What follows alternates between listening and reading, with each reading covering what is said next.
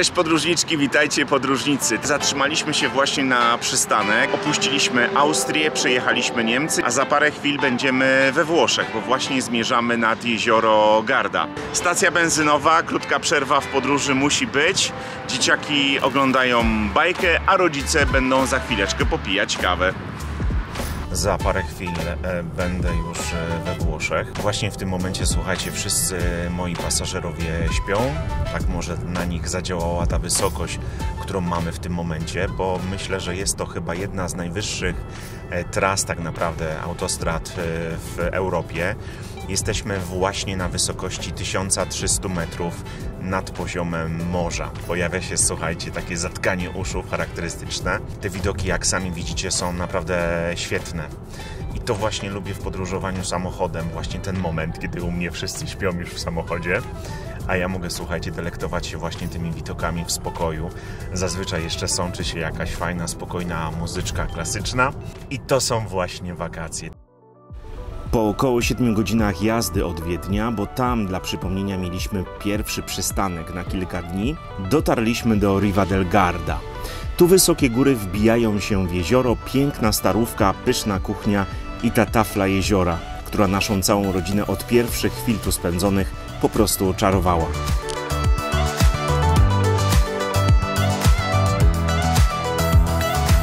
Riva del Garda to piękne miasto włoskie z historią, która sięga czasów, kiedy te tereny należały do Austrii, Republiki Weneckiej i następnie po I wojnie światowej trafił do Włoch.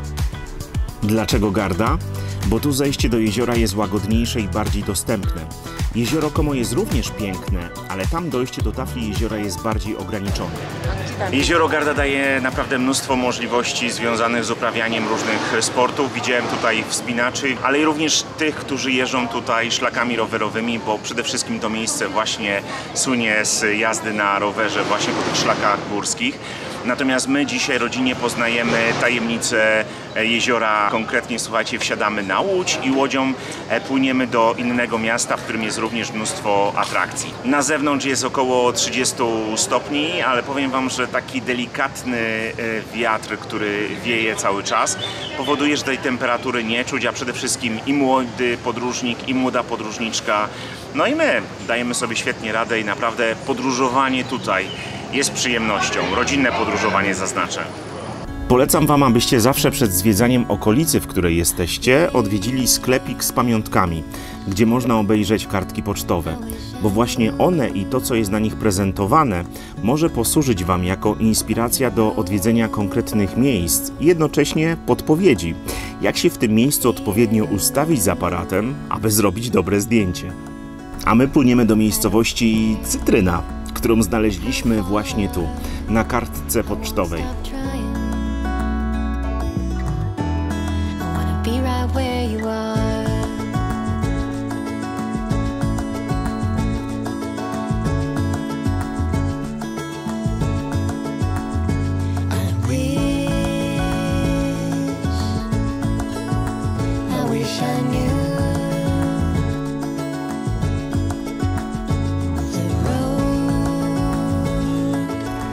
Naszym rodzinnym podróżowaniem często rządzi przypadek i zmysł podróżnika.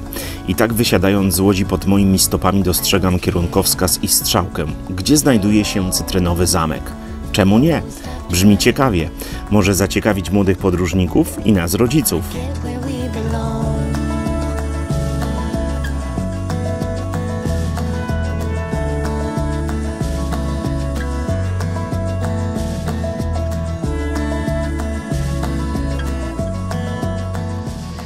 Wspinamy się. Jesteśmy w miejscu, gdzie się hoduje cytrynę. To miejsce jest z XVIII wieku. I tak płynęliśmy statkiem i myśleliśmy z Bartkiem, co za rusztowania. Te rusztowania to właśnie miejsce, gdzie rosną cytryny. No i jesteśmy w cytrynowym mieście. Idziemy zobaczyć, jak to pięknie, pięknie jest zorganizowane i naprawdę wygląda to imponująco.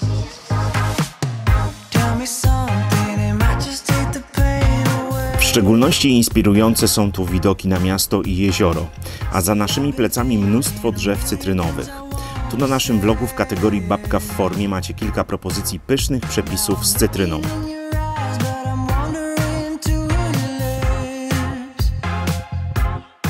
A czy teraz Magda ma jeszcze jakiś pomysł na kolejny ciekawy przepis z cytryną w roli głównej? Na przykład mogę zrobić makaron z cytrynami. Makaron z cytrynami? No. Cytrynowy Wow. makaron, pyszny jest. Ale wiesz co, ta tarta cytrynowa, tutaj mieliśmy Tarta okazję skór, skosztować i naprawdę była świetna, choć myślę, że w Twoim wykonaniu będzie o wiele lepsza. Przepraszam, że się tak ruszam, ale dzieci, dzieci, dzieci. I masz kapelusz w postaci pilochy.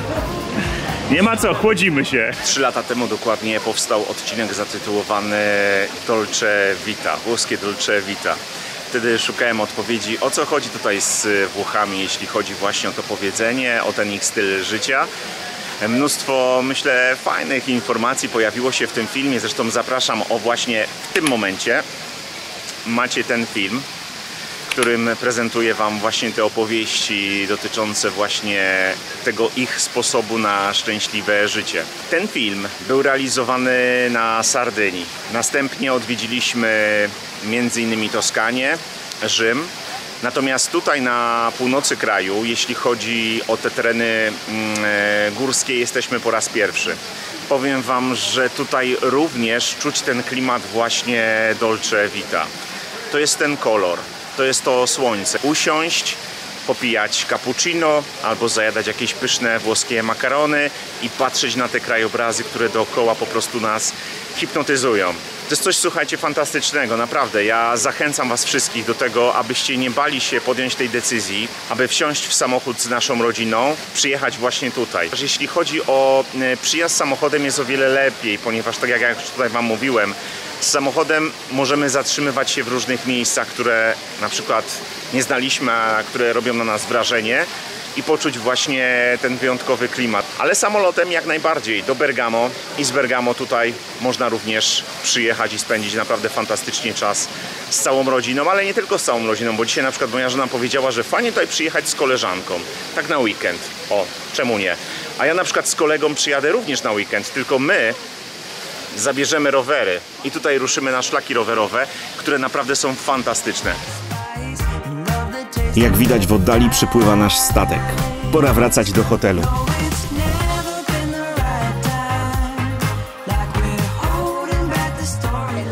W ten oto sposób przyszedł czas na pożegnanie się z tym pięknym miejscem. Ja powiem Wam tak, jeśli chodzi o poszukiwanie hoteli w okresie wakacyjnym, warto naprawdę troszkę wcześniej zasiąść do komputera, poświęcić na to kilka godzin i znaleźć takie miejsca, które są spełnieniem naszych marzeń. Ja się cieszę, że tutaj właśnie patrząc na ten widok, który mamy za okna, który towarzyszył nam każdego poranka i wieczora, kiedy tutaj dobiegała również muzyka grajków ulicznych, e, jeszcze bardziej mnie przekonywał, że naprawdę warto wykonać właśnie ten ruch i spędzić tego czasu troszkę więcej, aby to nie było przypadkowe. Dobrze, i teraz powiedz mi, Tymku, co Ci się najbardziej tutaj podobało? Podobał mi się ten statek, no i ta moja zabawka. I tak powiedz mi, z punktu widzenia swoich kolegów, co mógłbyś im jeszcze tutaj zaproponować? Dlaczego tutaj warto przyjechać? No bo jest ładna plaża, no i można sobie zbierać kamyki, jest trochę, no i można zatapiać sobie w wodzie, no i są mokre.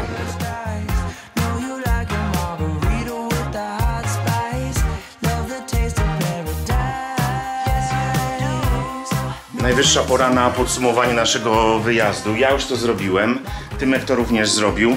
Teraz z tej pięknej sypialni, tutaj tego łoża, tego baldachimu, tak, postaramy się jakoś to nagrać. Właśnie. Słuchajcie, było wspaniale i to, że Bartek ma taki ogromny talent do wyszukiwania miejsc, które są jak z filmu, a tutaj muszę powiedzieć, że no, ten baldachim i w ogóle cały ten anturaż tego miejsca to jest taki Wes Anderson Bartko.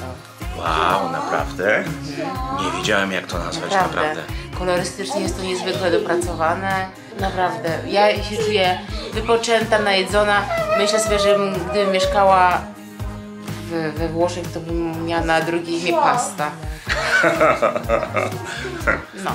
Tak to słuchajcie wygląda, więc my się pakujemy, startujemy stąd i kończymy w tym momencie nasz y, odcinek. Y, Zapraszamy Was do śledzenia nas tutaj na Having Fun, do subskrybowania naszego kanału, bo to jest bardzo ważne. Zapraszamy Was i Musiał, nie ma inaczej. do zobaczenia. Tata, patrz, Mhm. motorowa. Mhm.